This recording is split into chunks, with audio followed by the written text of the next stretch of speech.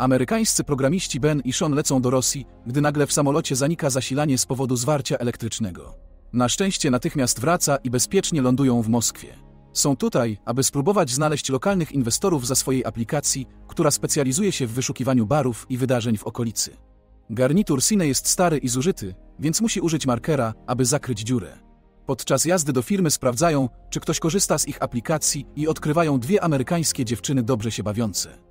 W końcu docierają do sali konferencyjnej, gdzie odkrywają, że spotkanie inwestycyjne zostało już rozpoczęte przez ich wspólnika Skylera, który ukradł ich pomysł i teraz sprzedaje podróbkę Rosjanom. Skyle mówi, że nie będą potrzebni i każe ochronie ich zabrać. Później Ben i Sean idą do klubu, aby się napić i zapomnieć. Sean znajduje dziewczynę, która mu się podoba, ale okazuje się, że jest ze Skyle.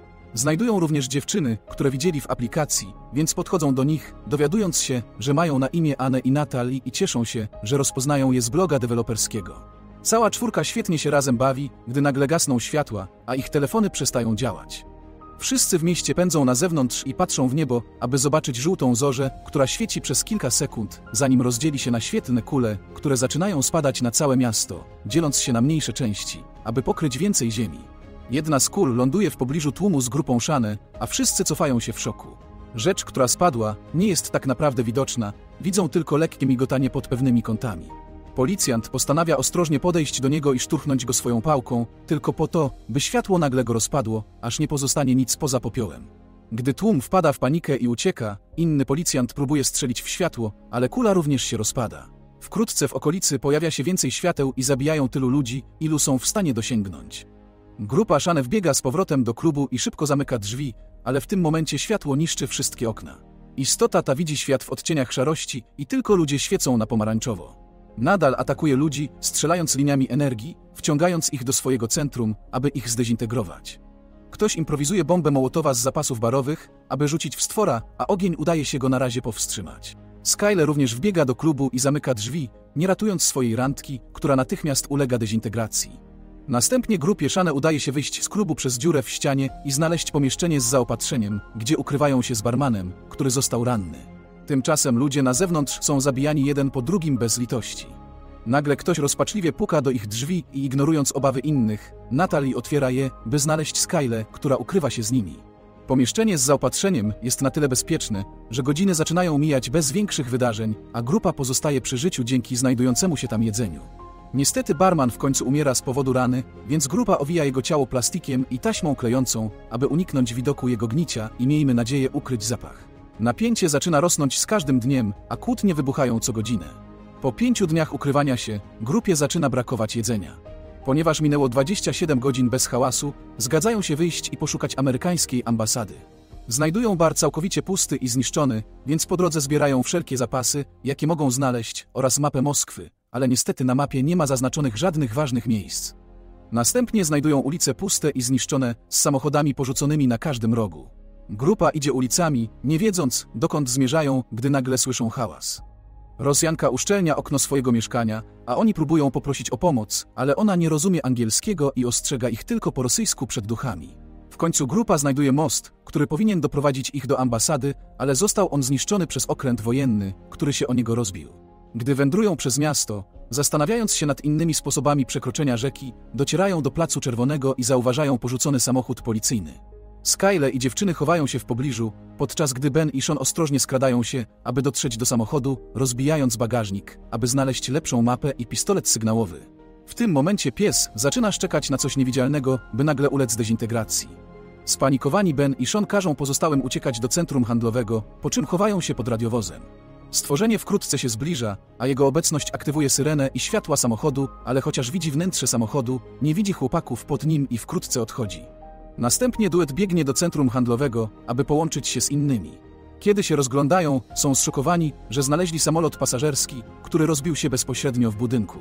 Skyle uważa, że powinni tu zostać, dopóki nie nadejdzie pomoc, ale Sean i Ben uważają, że muszą iść dalej, aby przetrwać. Dyskutując o tym, co się stało, dochodzą do wniosku, że stworzenia muszą używać jakiegoś rodzaju pola elektrycznego do ochrony, które aktywuje urządzenia elektryczne.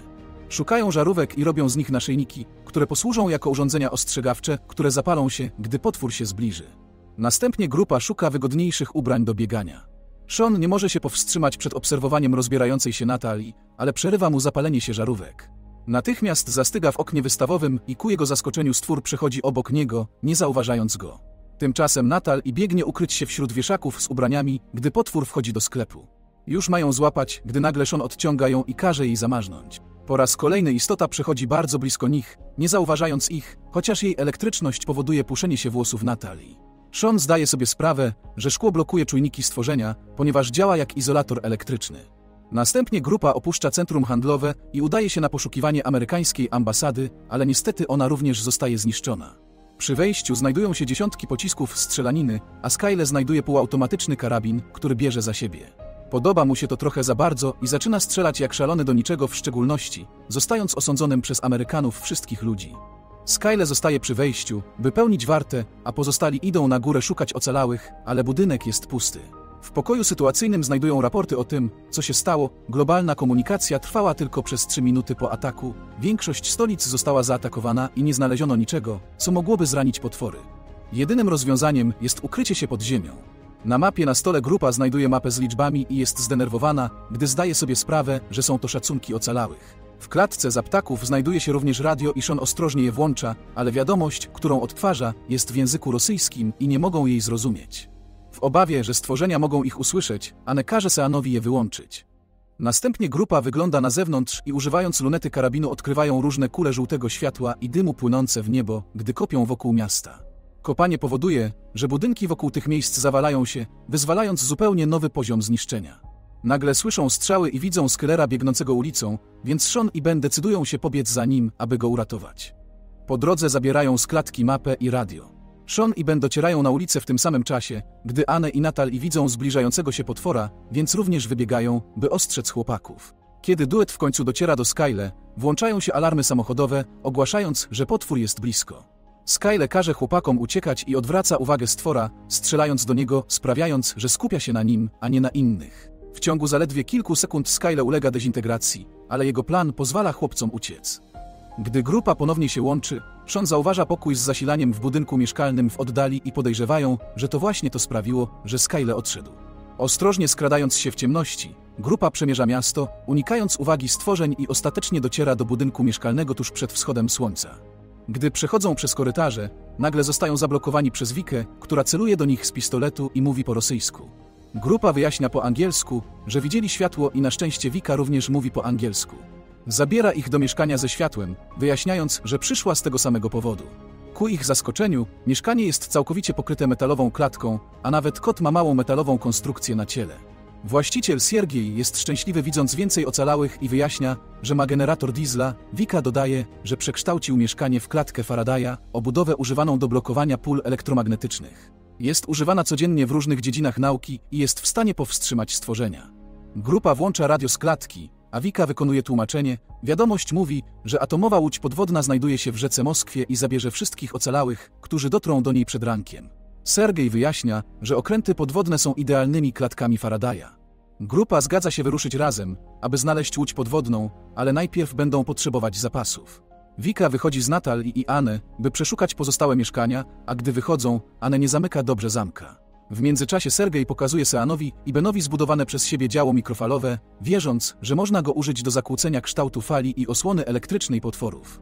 Podczas gdy dziewczyny szukają zapasów, stwory widzą je w budynku i ruszają do ataku. Światła zewnętrzne zdradzają ich ruch, a dziewczyny natychmiast uciekają. Wika biegnie znaleźć kryjówkę, myśląc, że mieszkanie jest zbyt daleko, ale Anne myśli, że może to zrobić i zaczyna biec do miejsca Siergieja, a Natal i podąża za nią. Udaje im się dotrzeć do mieszkania, ale nie są w stanie zamknąć włazu, więc chowają się za szklanym stołem. Stwór szybko wchodzi do środka i podczas gdy kot ucieka, Siergiej strzela do potwora z karabinu mikrofalowego. Wygląda na to, że fale działają i sprawiają, że stwór zamarza na kilka sekund, odsłaniając swoje brzydkie ciało w świetle. Niestety trwa to tylko kilka sekund, a Siergiej nie może naładować baterii wystarczająco szybko, więc potwór staje się ponownie niewidzialny i dezintegruje Siergieja. Podczas gdy Sean i Ben wydostają się na zewnątrz przez wyjście przeciwpożarowe, Natal i biegnie podpalić trochę oleju napędowego, aby ukryć ich ucieczkę. Następnie biegnie dołączyć do chłopców, ale Anna jest zbyt przerażona i nie porusza się wystarczająco szybko. Zanim odchodzi od stołu, potwór widzi ją i również ją dezintegruje. Natal jest zdruzgotana, ale Sean namawia ją do działania. Trio wspina się po schodach awaryjnych i łączy się z Wiką na zewnątrz budynku, po czym uciekają, gdy widzą rosnące płomienie wewnątrz mieszkania. Kilka minut później ich droga zostaje zablokowana przez grupę rosyjskich policjantów ubranych w metal, niosących broń i tarcze, które sami wykonali. Każą grupie się ukryć, a gdy światła uliczne zaczynają się świecić, otwierają ogień do potwora. Łącząc ostrzał, miotacz ognia i granat rakietowy, udaje im się zranić potwora i odstraszyć go.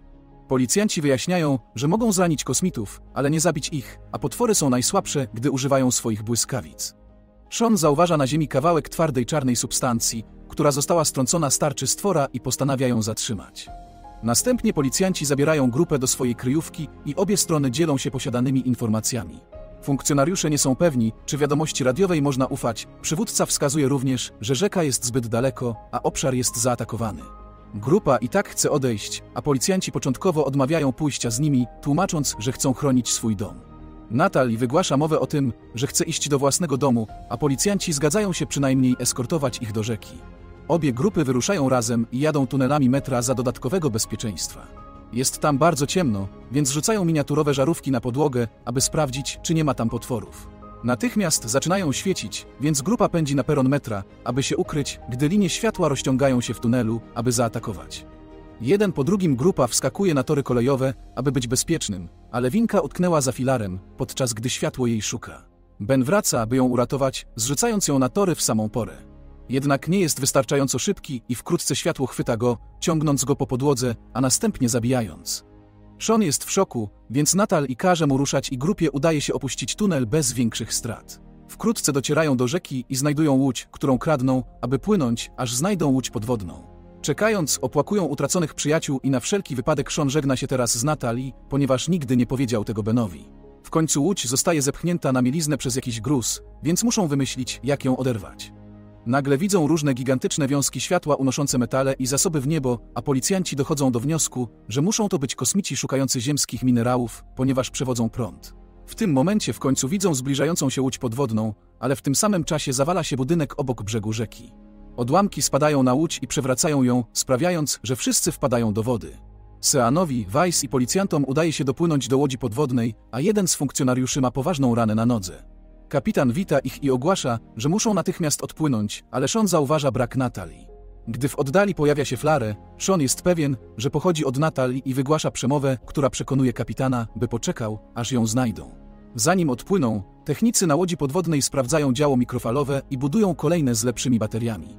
Następnie Sean odchodzi z policjantami i jak największą ilością broni, pozostawiając Wikę w bezpiecznym miejscu na łodzi podwodnej. Gdy grupa przemieszcza się ulicami, rzucają telefony na podłogę jako urządzenia ostrzegawcze.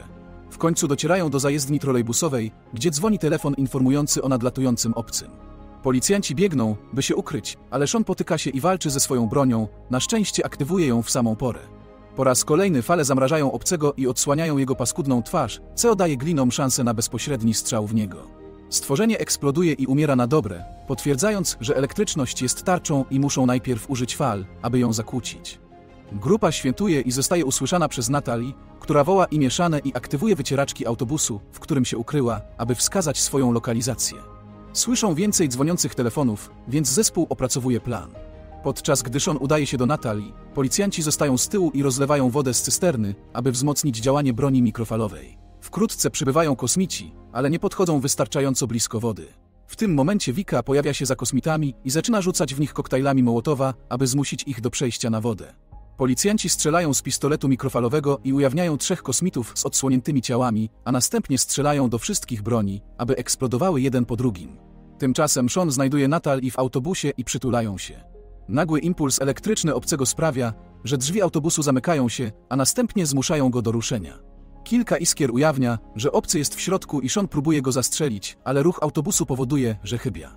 Obcemu udaje się złapać Natal i za nogę i zaczyna ją ciągnąć, ale teraz jest bezbronny i Sean uderza go falami.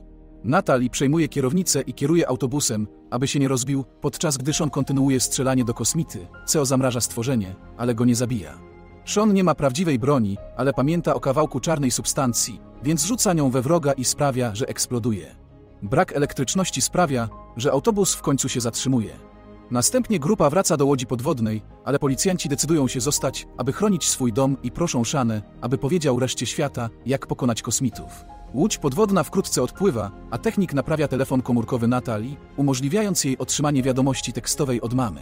Mówi, że jest bezpieczna i ukrywa się z ocalałymi na Penn Station. Następnie Sean i Natal próbują się pocałować, ale Wika przerywa im z obrzydzeniem. Jakiś czas później patrzą na mapę ambasady, słuchając doniesień radiowych o grupach, które walczą z inwazją obcych. Postanawiają udać się do tych miejsc, aby pomóc w walce. Jeśli film Ci się spodobał, zostaw subę i łapkę w górę. Miłego dnia.